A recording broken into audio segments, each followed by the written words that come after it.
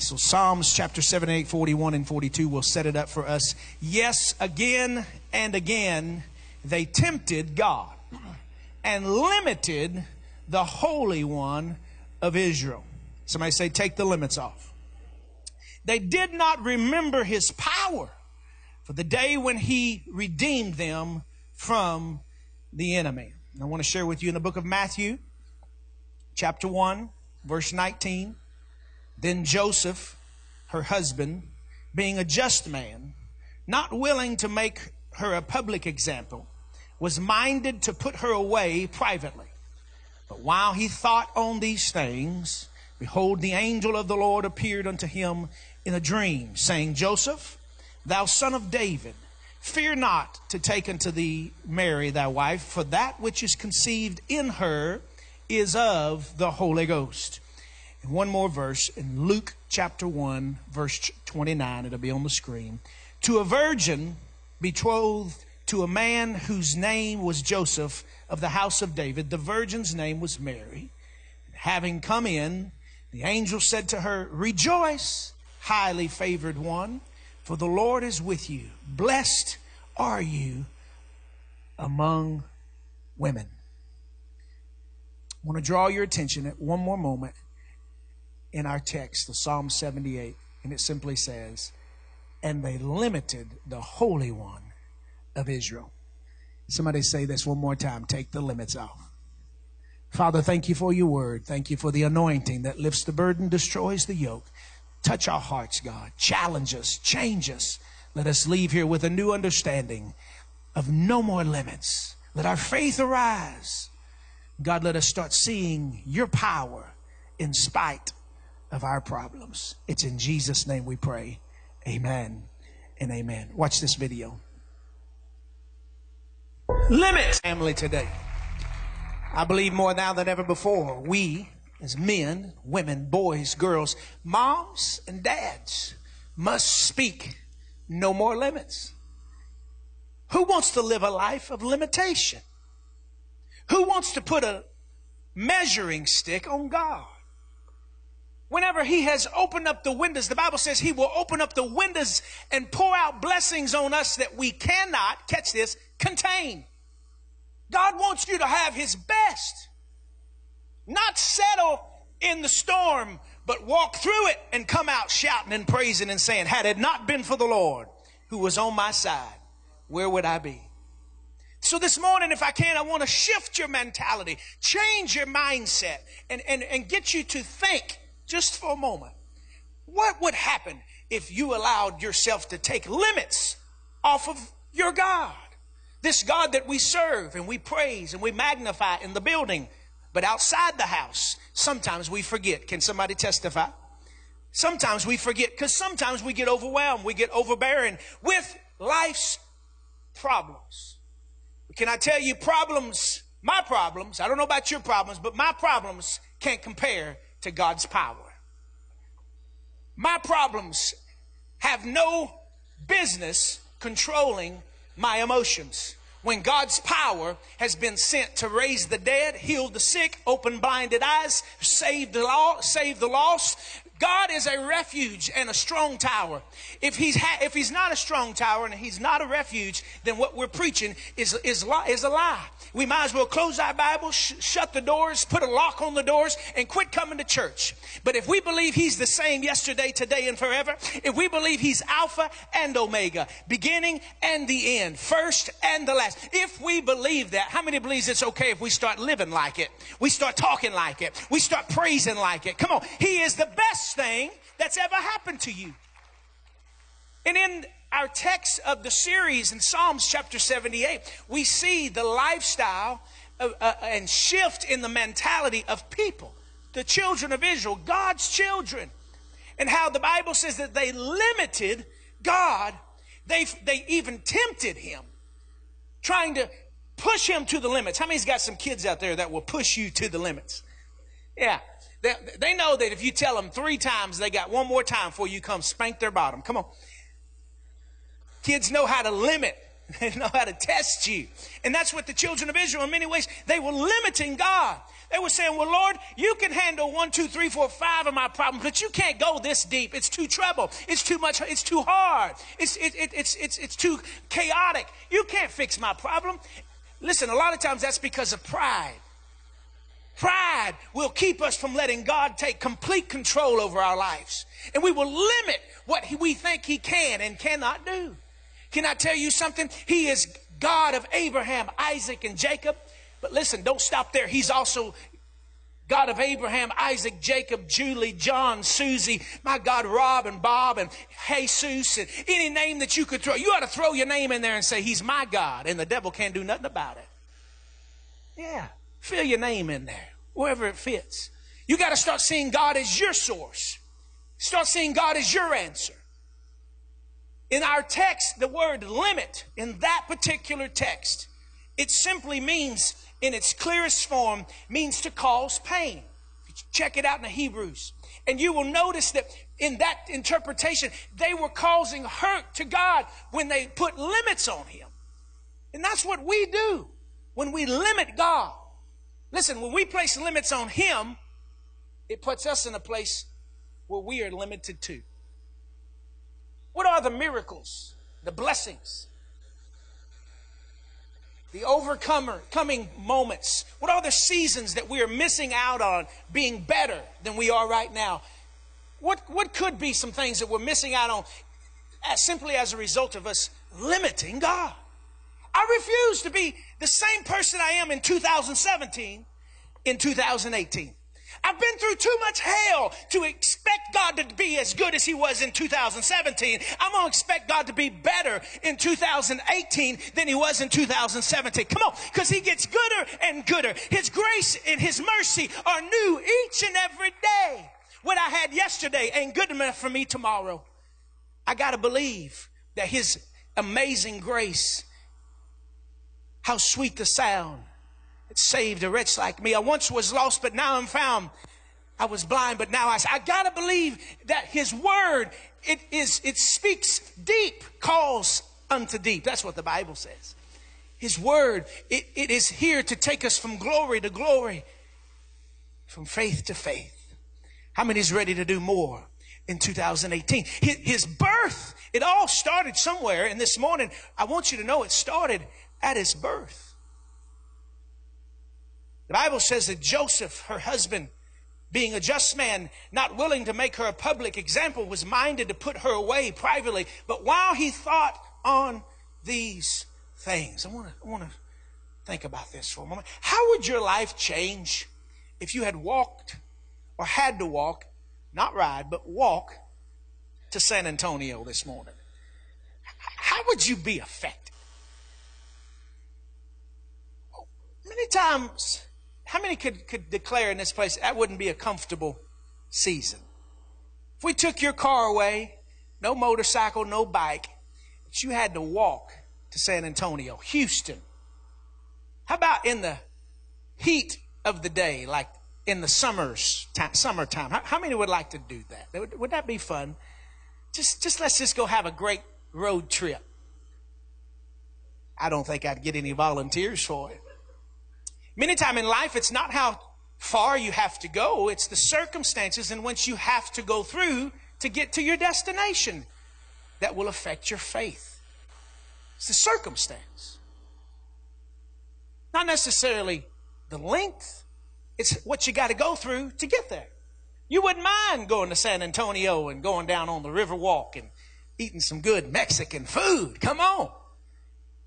But if you take the car away, the journey changes a little bit.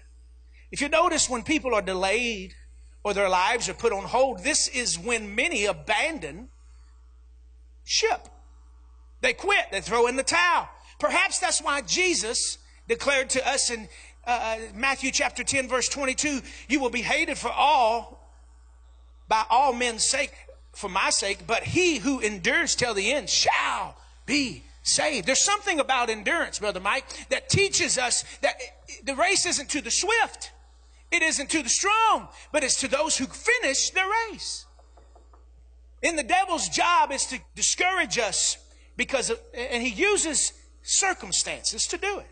Church, we must never give up. Somebody say, don't give up. When God is working for us, we need to let him work. If we give up before it's before he's done, we could miss out on our destiny.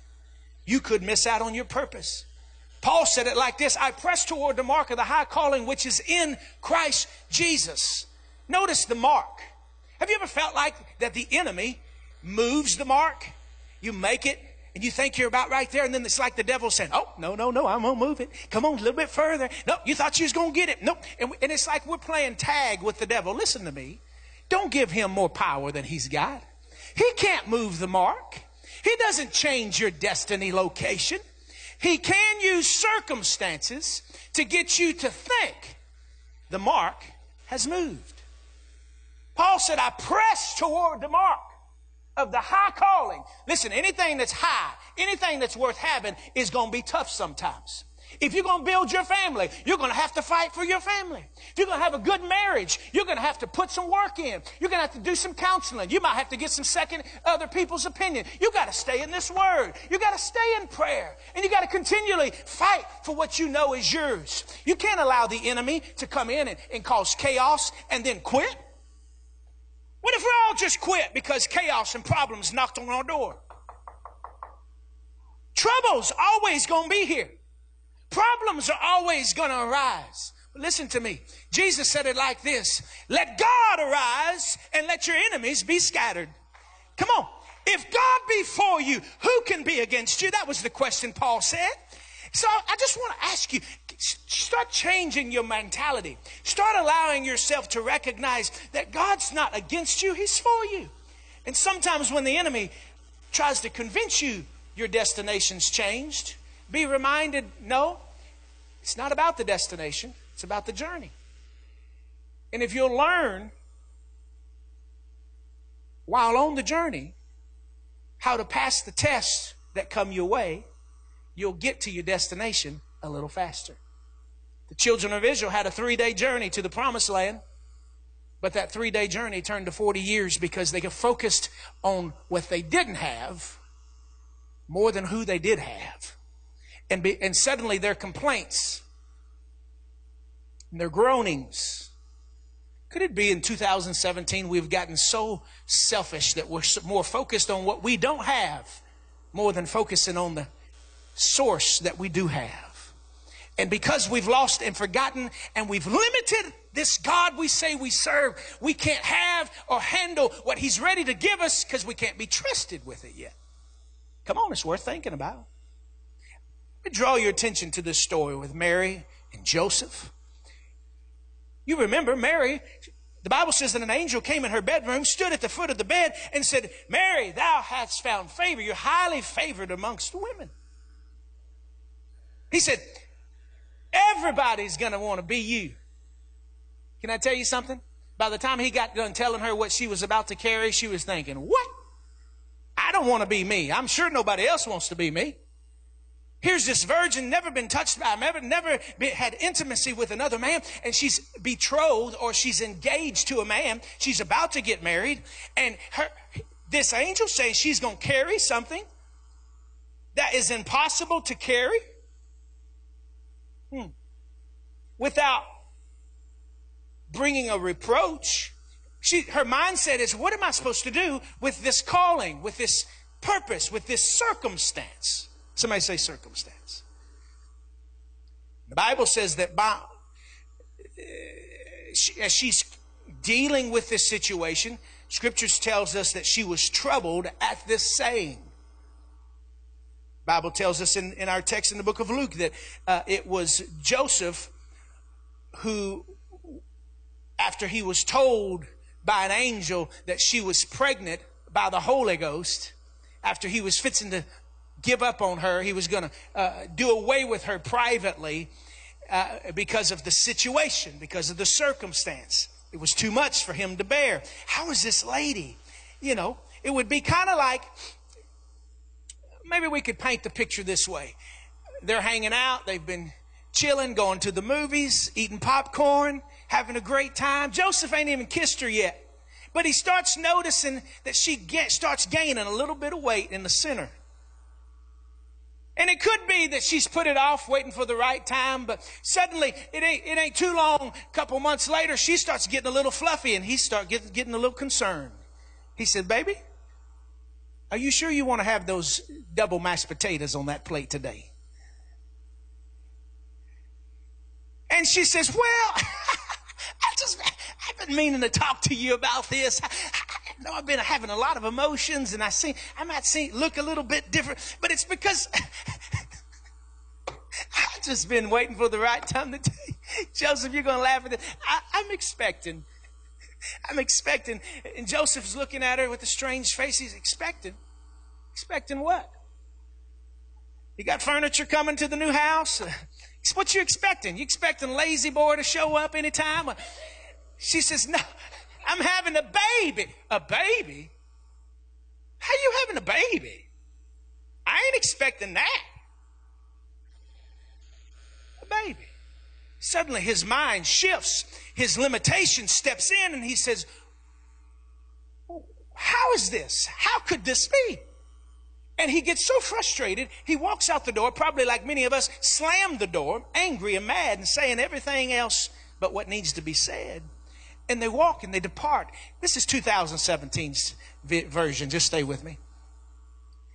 And you can imagine, and she goes to her cousin's house, Elizabeth's house, and, uh, she, and, and, and, and, and, and, what she's carrying causes what Elizabeth's carrying to leap in her womb. And this is John the Baptist that's about to be born, her, and the cousin of Jesus. And, and, and, and suddenly everything that, everywhere Mary goes, she starts she continues to affect her atmosphere. How many believes just because you're carrying something abnormal, it doesn't mean you shouldn't keep making an impact on the atmosphere that you're in? Just because it's confusing, just because it's heavy, just because it doesn't make sense, doesn't mean it's meant to take you out. It could be meant to take you up. We're waiting on God to come bring us up, and God is waiting on us to come up, to give Him the praise that He's worthy of. Here's Mary and Joseph, and they're in a hard place. Joseph is so frustrated, he's probably hanging out with his buddies one night. He's, he's, I don't know if he's playing poker or if he's drinking root beer. I don't know, but he's having a good time with the guys, and the guys are saying, Man, you ain't got to do this. You can just put her, put her away. Nobody's got to know. Do it secretly. This circumstance is way too hard for you. You've waited a long time. She's, she messed up, man. She's going to miss out. You're the quam. Come on. You, you, you are the bomb.com. She ain't worth, she, she ain't worth it. She's gonna mess your life up. Just put her away. Just like the devil. Try to get you to walk away from your anointing. Walk away from your calling because your calling doesn't look like what you expected it to look like. What do you do when your calling doesn't look like what you expected it to look like? When the anointing on your life seems to be limited by your faith. Number one, if you're taking notes, if you have the notes from the app, you can look at that as well. But while he thought on these things, that's what Joseph said. While he thought on these things, he was thinking about it. What am I supposed to do? I put her away? Do I get rid of her? God, where are you? You ever asked the Lord that question? Have you ever questioned what God had on his mind when he allowed things to take place in your life that you couldn't explain? Lord, what is, what's on your mind? What, what, what, what are you thinking about? These two people, Joseph and Mary, were both called by God to carry something they did not understand and could not explain. I need this to relate to you. I, I, I, need you to see that they are no different than you and I. Have you ever been in a night season that seemed would never go away? Haley, the other, uh, uh, uh, let's see, two nights ago, uh, she's had this tooth in her in her mouth, and half the tooth came out, and the other half didn't come out. And it's been, the, I guess, the gum, the skin uh, formed over the other part of the tooth, and, and so it's been weeks now that it's stayed in there. And she's like, "No, Dad, I'm just going to let it come out." So, baby, let me pull it for you. No, Dad, I'm just going to let it come. And and and, and the other night, Friday night, uh, it starts coming out and, uh, and I said, baby, let me help you. She said, no, dad, you're going to hurt me. I said, hurt you? I'm dad. I don't want to hurt you. So she starts putting limits on my ability to help her. Look at this. And she, I, am in the I'm in the other room. I'm, i think I'm studying for this sermon in the kitchen, and she's in her bedroom. It's late. We're fixing to go to bed, and and she's uh, she's in, I find I go in there. She's real quiet. Anytime Haley's quiet, I bet something's going on. And I go in there, and she's in the bathroom, her restroom, and she's in the mirror, looking in her mouth, playing with this tooth, trying to pull it out, and blood's everywhere. I'm thinking, oh my God, who's dying? And she's got blood on my towel. She's got blood on the sink. I, am like, Haley, what are you doing? You're making a bigger mess than has to be made if you'll just let daddy help you. I'm telling you, for an hour and a half, I argued with that young lady to let me help her. And she cried and she bawled. And this, like many of us, she said, Oh, my life is over. This is horrible. She literally said, This is the worst thing that's ever happened to me. And at one time she said, I'm in so much pain, I just want to die. 10 years old. This is Haley. And I'm laughing, but I'm trying to have compassion because she said, You don't care. You just want to jerk it out, Dad. You don't care what I'm feeling. And I'm thinking, Baby, I do. And then she brings up how I dealt with a situation years ago and had a string on her tooth and I jerked it out and, and I scarred her mind forever. And I'm thinking, I'm so sorry. what was God thinking? Come on. What are you thinking, Lord, putting me through this circumstance in this situation? Here's the good news. When she finally let me put my hands on it, I pulled it out with ease. And what she thought was going to hurt her the worst actually brought comfort and peace because it was out. Sometimes you just got to get it out. Sometimes you just got to repent and let sin be covered by the blood. Condemnation will beat you over the head. Condemnation will beat you to the ground. But God's grace and mercy has come and followed you all the days of your life, not to hurt you, not to discourage you, not to scare you, not to make you run to religion, but to teach you how to walk in fellowship and relationship with the Father, with the Son, with the Holy Spirit that wants to comfort you and guide you, lead you and teach you, to raise you up, not take you down. But we must take limits off of God. What would happen if you had relationship with him 24/7 instead of 2 minutes a day? What would happen if we read our Bible, if we witnessed, if we shared the gospel, if, if, we, t- if we lived the life instead of talking the talk? What would happen, church? How many people know that you believe in Jesus as the Savior, born of a virgin, risen after being crucified? How many people know that your faith is in the death, burial, and resurrection of this man named Jesus? Many times we will limit who God is by what we don't say, not always what we're saying.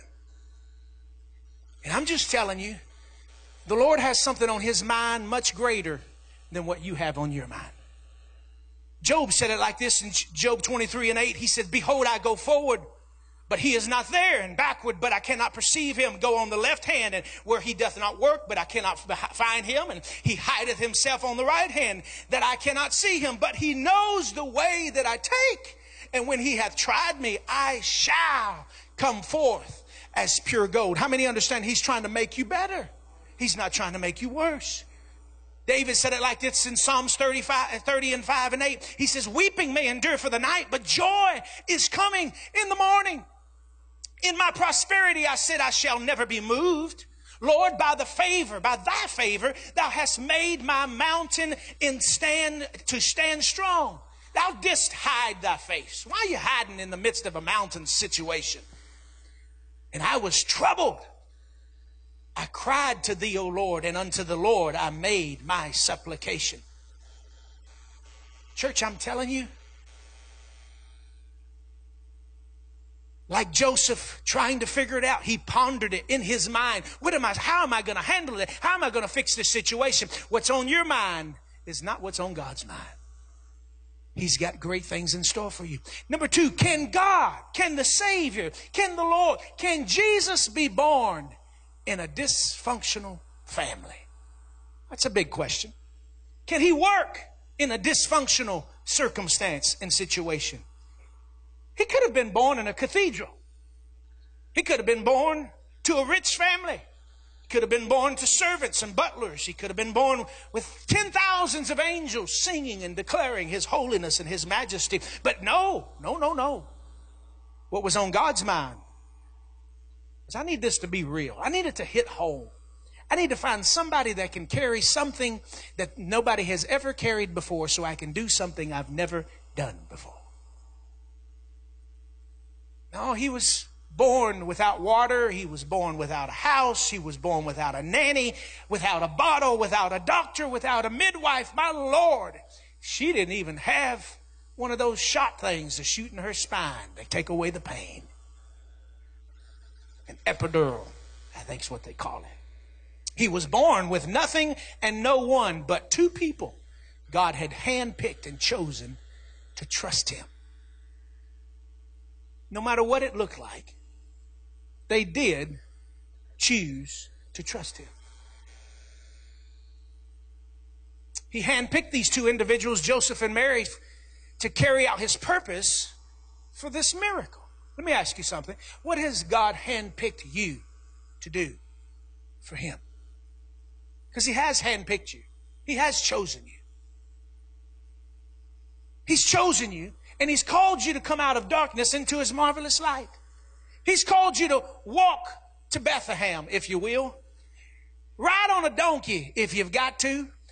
Be un- uncomfortable. Be in a place that's insignificant and seems like there's no way that God could use this situation. And in the midst, on the, on the midst, in the midst of the circumstance, learn how to start seeing God for who He is, not the problems for what they are. His power is greater than your problems. The Bible says one of the names of God is Jehovah Shammah.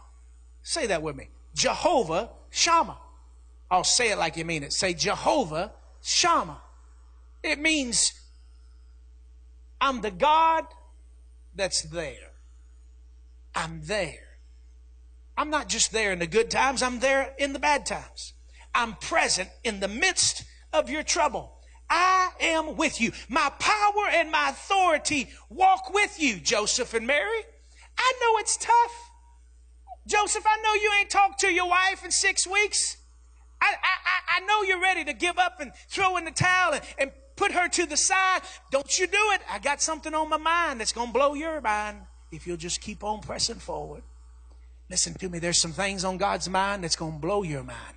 If you won't let your dysfunctionality mess up his plan for your life. It's a perfect plan. It's not a permissive plan, it's a perfect plan. God's plan was perfect for Joseph and Mary, but at this moment, it was a problem. She could be stoned. His name would be completely ruined. Isn't it interesting that now everyone would know? Because God was taking them back to the city that he was from to register, pay a tax, and now they're going. To, he can't hide that she's got this big bump in her belly. They're really going to think she gained a lot of weight. How do you hide being pregnant? Nine months later. It's interesting. He would take them all the way back to the city that Joseph started his life in. There's some things that God will take you back to not so that he can discourage you, hurt you, cause harm to you, but so that he can reveal his glory in you. If you're going to take the limits off of God, you must trust him to, to get glory through you and grow your faith in him. You understand limits have everything to do with faith. The reason we place limits on God is, is because our faith has been buried and fear controls every move that we make. Fear was tr- controlling Joseph. Fear, in many ways, was controlling Mary. She, you understand most of the things that we worry about statistically, I think it's like 98%. 98% are, I know it's in the 90s. The things that we worry about never even happen. But yet the enemy knows how to use fear as a tactic to delay us from our ultimate destiny and ultimate goal. The Lord has already gone before us. He's already fighting the battle. He's already preparing the victory for us. Listen to me. That's why I'm glad. I don't need just need God in my victory moments. I need God to walk with me in the in the storm, in the battle. I need a God who will be there. I need a Jehovah Shammah who will stand with me through the storm so that when while I'm walking through it, that's why David could say, "Yea, though I walk through the valley of the shadow of death, I will fear no evil. Why? Because he knew thy rod and thy staff. He said, Your presence is with me. They comfort me. You've got to know what to hold on to. When you've lost everything else, when you've let go of everybody else, you can hold on to his unchanging hand. You can hold on to this Savior, this Lord, this King who says, I've called you by name and I know who you are. His power is greater than your problem. Take the limits off. Jehovah Shammah, He's there. He's with you. Isaiah 43 and 2 says, When thou passest through the waters, I will be there. He says, When you pass through the rivers, they shall not overflow thee. And when thou walkest through the fire, thou shalt not be burned. Neither shall the flame kindle upon you. He said, You won't smell like it. You won't even smell like where you came from. Church, I'm telling you, He has a plan and a purpose for your life. Mary and Joseph, had to recognize and learn. Aren't you glad you got somebody you can look at as an example to say, wow, if he did it through them, he can do it through me. He's not just the God of victory. He's the God that precedes the victory. Number three, while you were looking for a blessing, your blessing is looking for you. You see, you got to understand Matthew chapter 2 and 11 says it like this. And when they had come into the manger, they saw the young child with Mary, his mother. They fell down and worshiped. And when they had opened their treasures, they presented gifts to him with gold, frankincense, and myrrh. Notice, I read the scripture to you earlier in offering. You see, God had already went ahead and started dealing with the hearts of shepherds and wise men. While Joseph is in the barn because they had no room in the end. Joseph is in the barn. His, his, his, his wife, his, his, his uh, fiance, rather, is, is, is giving birth to this baby named Jesus. And his mind is still full of chaos, wondering, well, I got, not only do I have the baby to deal with, but I I got to deal with this money situation because I'm short on my taxes. Have you ever been in a place where you couldn't pay your taxes when they needed to be paid? Don't raise your hand. The IRS is probably in here right now watching. There's nothing worse than having that pressure, having to come up with something that you're a little short in. Joseph is dealing with it, but listen, I want you to see how God goes before and actually deals with the situation, not just the baby thing, but he deals with the financial struggle. And the scriptures say he speaks to these wise men these shepherds, and they bring everything that they need exactly when they need it. As if to say, while you're looking for the blessing, the blessing is looking for you. Church, we don't have to worry in 2018. God's got everything handled. He's going to take care of everything that you have need of. You don't have to fret. You don't have to get depressed. You don't have to pop pills to try to make it through tomorrow. You can just take the gospel one time, start speaking the word of faith and declaring that God will take care of me. He's gonna, he's gonna, he owns the cattle on a thousand hills. And my blessing is on its way if I won't limit him by my faith. Fear cancels out your faith every single time. Psalms 23 and 6, 6 says it like this Surely goodness and mercy shall follow me all the days of my life. Listen, and I will. Somebody say, I will. I will. Say it. Say, I will. I will dwell. Notice it does matter where you hang out. It matters where you're at. It matters where your source is and where you're plugged in at. David said, I will dwell in the house of the Lord forever. You don't have to like my house. I don't have to like your house. But listen, we better all have a house that has the presence of God filled in it. We better all recognize that it is important to be in His house, be in His presence, be in a place that has been built and specifically set up for Him to move in our life on a personal level. Come on, give Him praise right there. I will dwell in the house of the Lord. Last but not least, I'll leave you with this thought.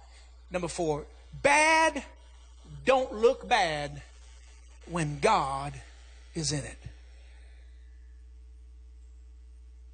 Mary's having the baby. Ah! Joseph hasn't trusted her. They've been trying to rebuild trust. They probably haven't been talking because that's usually what happens. Women don't talk to men. Men don't talk to women when they're mad at each other. And we think we're teaching each, well, I'm going to show her. I just won't talk. How's that working for you? Listen, the devil wants you to shut your mouth. He don't want you to talk. Because the moment you stop talking is the moment you lose your ability to change your circumstance with your words. I found that if you're saying the right thing because you're reading the right thing, you'll start changing the circumstance for the right reason. You got to speak life. And in all their silence, their silence was screaming for answers. Now she's screaming in pain. She's having this baby. And now they've not only had to uh, uh, uh, uh, start dealing with each other again, but now they're having to help each other. Who's going to cut the baby cord? Who's going to wipe her head? Who's going to give her some type of comfort? And Joseph has had to step up to the plate all along, pondering in his mind what this calling is all about. Suddenly, as that baby comes out, and this baby wrapped up in flesh, who is God and God alone. Lets out the faintest of cries. Wah! Wah! Suddenly, Joseph's heart is pricked. Mary's tears begin to flow.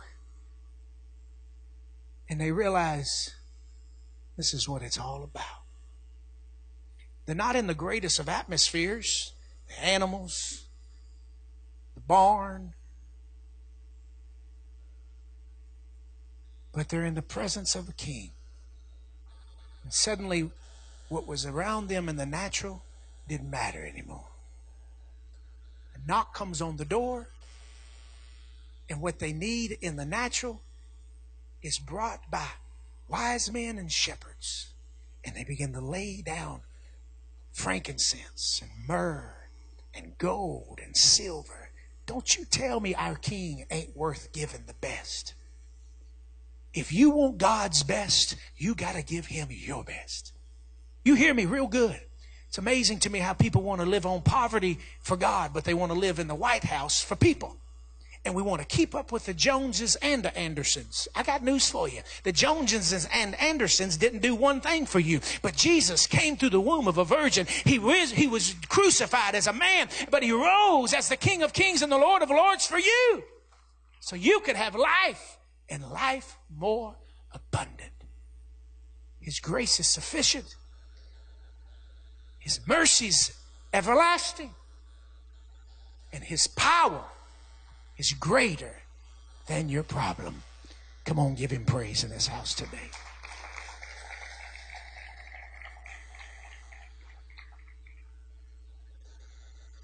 I'll leave you with this scripture. 1 Corinthians 2 and 9 says, Eye hath not seen. You know what happens to the person who takes the limits off? I believe if Joseph and Mary could speak to us today, they would declare this ear has not heard, neither has it entered into the heart of man the things which God has prepared for them. Here's the key that love Him. Do you love God more than you love things? He's the gift that keeps on giving. You don't have to catch the blessing. The blessing has already caught you. if you've accepted Him as your Savior. Get ready. When there's no limits, there's great possibilities. Eye hath not seen, ear hath not heard. Hasn't even entered into the heart of man the possibilities that God's going to do in your life. Take the limits off, church. Don't you limit this Savior. Maybe you've limited Him to forgiving you because of your past, because of your mistakes. Here's the good news nothing can separate you from the love of God. Nothing shall, shall tribulation. No. Shall circumstances? No. Shall problems? No. Shall sin? No. Nothing shall separate you from the love of God. Death? Height? No. His love is never movable and it's unchanging. And as you stand in this place, He wants you to receive it before you leave this, this house today. Come on, stand with